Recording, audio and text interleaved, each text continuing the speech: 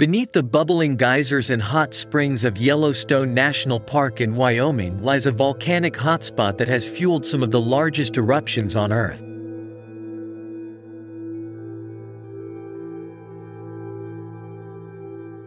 Geologists have now fully imaged the underground plumbing system and have discovered not one, but two magma chambers beneath the giant volcano.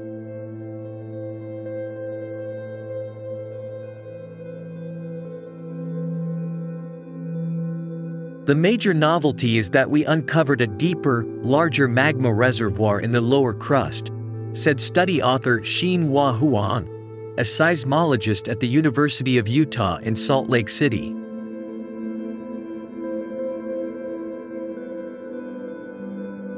Scientists have known about plumes that carry molten rock from deep in the mantle to a region about 60 kilometers 37 miles below the surface.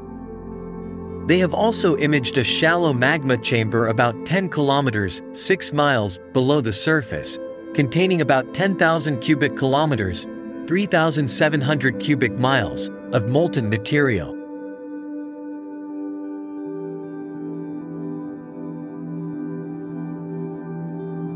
But now they have found an even deeper magma chamber, 4.5 times larger, that lies between 20 and 50 kilometers, 12 and 31 miles, below the surface. They found the missing link between the mantle plume and the shallow magma chamber, said Peter Cervelli, a geophysicist in Anchorage, Alaska, who works at the U.S. Geological Survey's Yellowstone Volcano Observatory.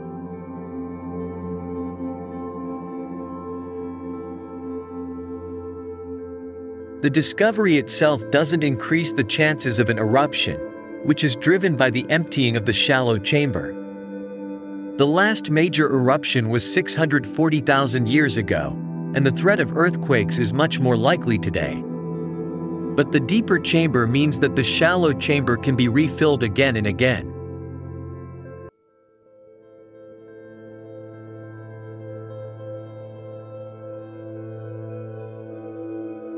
Knowing that you have this extra reservoir tells you that you can have much larger volumes erupting on a relatively short time scale, said co-author Victor Tsai, a geophysicist at the California Institute of Technology in Pasadena.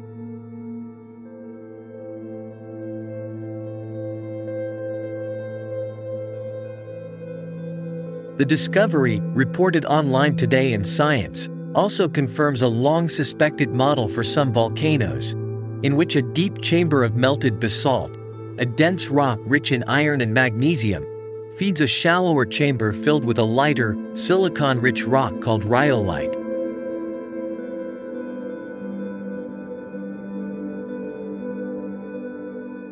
The researchers used seismometers to measure the noise of the earthquakes to create a sort of sonogram of the Earth's crust.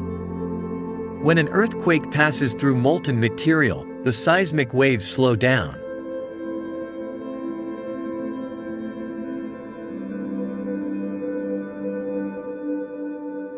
The team interpreted these low-velocity areas as magma chambers, even though these chambers are still mostly solid rock and contain only a small amount of molten melt. Distant earthquakes are useful for imaging deep structures, such as the mantle, and local earthquakes can help see shallow chambers.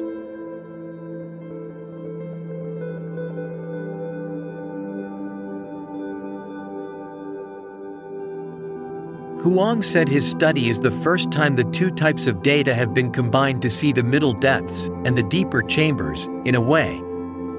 His team used 11 seismometers from the EarthScope US array to listen for deep quakes and 69 seismometers from several local seismic networks to collect data from shallower quakes.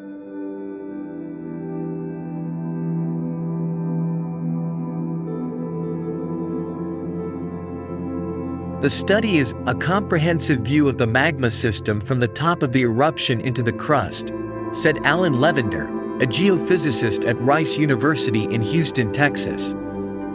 But he said the study raises an interesting new question that could be the subject of future research.